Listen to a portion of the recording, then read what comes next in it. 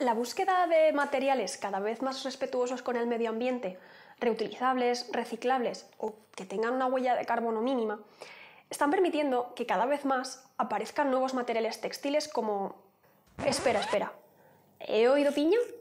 ¿En serio nos bastaba con la pizza con piña para encima meterme también la piña en diseño textil de moda? Ay, de verdad, lo que hay que oír.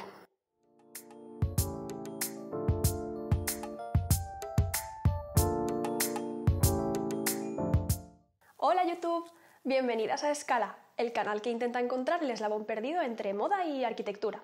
Yo me llamo Amanda, soy arquitecta e investigadora y en este canal subo vídeos sobre arquitectura, diseño, moda y nuevas tecnologías, entre otras cosas.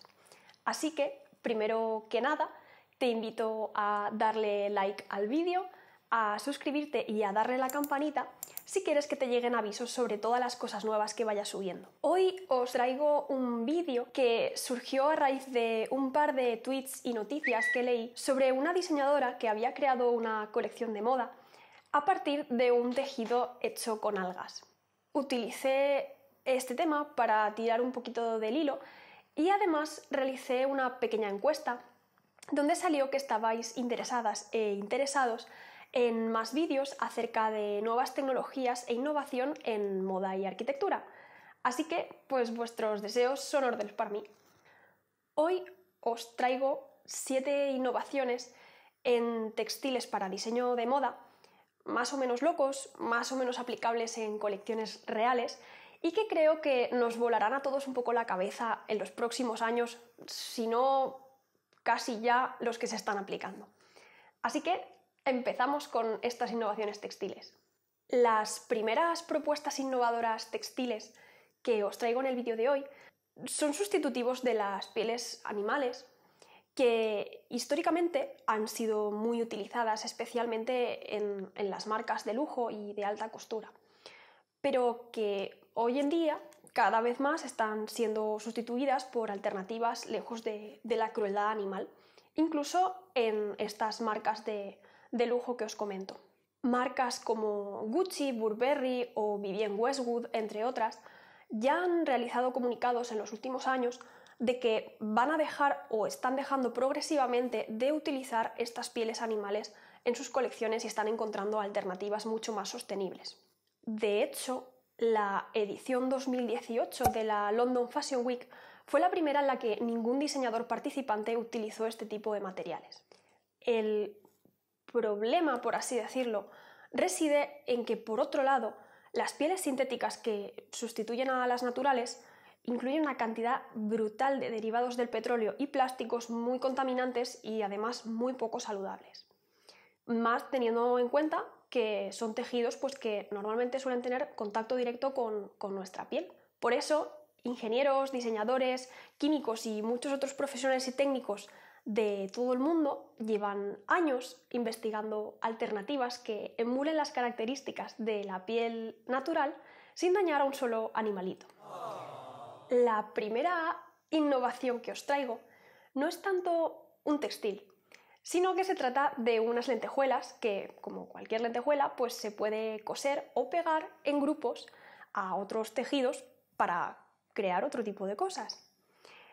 Es muy interesante porque tanto las lentejuelas como la purpurina, aunque a todas y todos nos encanta el brilli brilli, y a priori pues son fantásticas, eh, en su mayoría están hechas de plástico y derivados del petróleo. Por esto son tremendamente contaminantes al ser tan pequeñitas y ser susceptibles de acabar en el mar como microplásticos. Así que las lentejuelas que os traigo hoy y que su diseñadora, Elisa Brunato, ha bautizado como Bioiridescent Sequence, eh, son una alternativa sostenible y brilli brilli friendly hechas de celulosa líquida en un laboratorio. Se pueden moldear en una grandísima variedad de formas y se pueden coser en cualquier tejido como una lentejuela normal y corriente.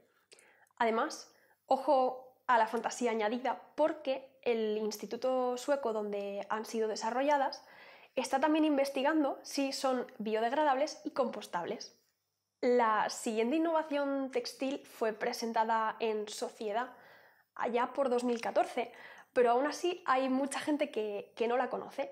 Y este es el Piñatex.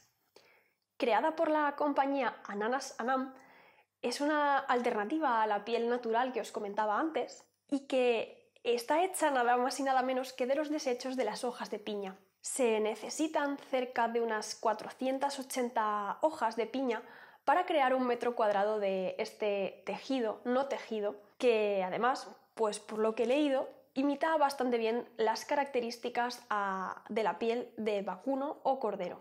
Al hilo del tema de las pieles artificiales, he encontrado también otras dos alternativas que son bastante interesantes. Una es la que han llamado Lino Leather, en, cuya invención ha estado involucrado el diseñador Don Quauning y cuyo nombre viene del linóleo.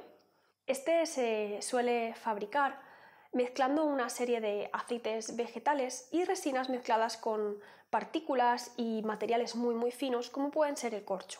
La lino leather, tal y como podéis ver en estas imágenes que he sacado de, de y cuyo link al artículo os dejaré en la cajita de descripción, como podéis ver es bastante gruesa, por lo que su uso no está tan indicado para diseño de moda, sino más como mm, para revestimientos o incluso suelos. Sin embargo, creo que la aportación es, muy interesante y puede tener ciertas aplicaciones puntuales en diseño de moda.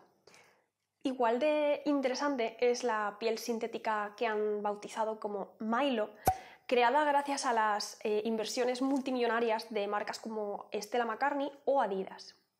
Milo ha sido diseñada por la empresa de biotecnología americana Bolt Threads. Milo es una piel vegana que se fabrica con células de tipo micelium que proceden, ojo cuidado, de setas y champiñones tratados en laboratorio única y exclusivamente para este uso. Por lo que he visto, y a diferencia de la Lino Leather, eh, Milo sí que tiene unas características que podrían ser más interesantes a la hora de aplicarlas en diseño de moda. La siguiente innovación textil que os traigo la ha desarrollado el MIT y me ha volado absolutamente la cabeza. Se trata de un pelo falso impreso en 3D que han bautizado como Cilia, con un grosor de 50 micras de diámetro y cuyo diseño está completamente computerizado.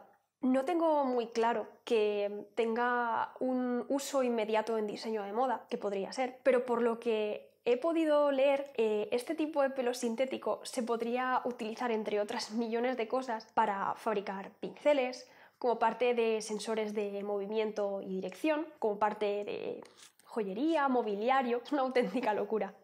Los siguientes textiles innovadores están hechos a partir de algas.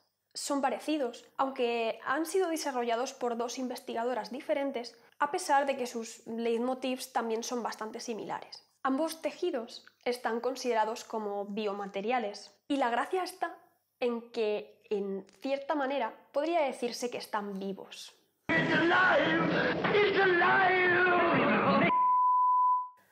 Así, tanto el tejido creado por Scarlett Young en la londinense Central St. Martins, como la colección que se descompone vía fotosíntesis de la canadiense iraní Roya Agigi, son dos materiales creados a partir de extractos y células de algas que varían en su composición y su estructura al estar en contacto con la luz o la humedad del ambiente.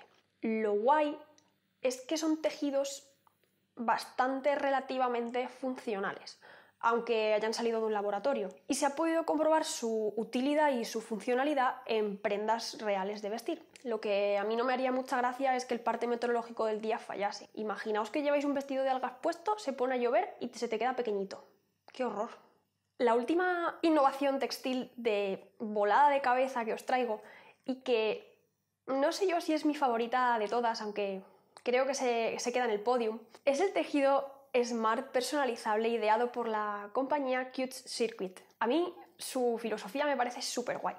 ¿Para qué queremos comprar 30 faldas diferentes con la cantidad de energía y de material y de desperdicio que eso provoca si podemos tener solamente una o dos, pero podemos cambiar sus colores y estampado a nuestro antojo?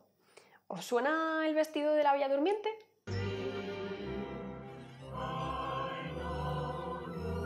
Ahora sabéis por dónde voy. Mediante unos LEDs súper pequeñitos que se pueden coser al textil base, esta empresa ha logrado programar estos tejidos inteligentes que al final supongo que funcionarán un poco como las luces de tu árbol de Navidad o esa bombilla que tienes por ahí que cambia de color con un mando. Sí, hay gente a la que le gustan esas luces de verdad. A mí no me miréis. Yo no juzgo, solo os digo lo que hay.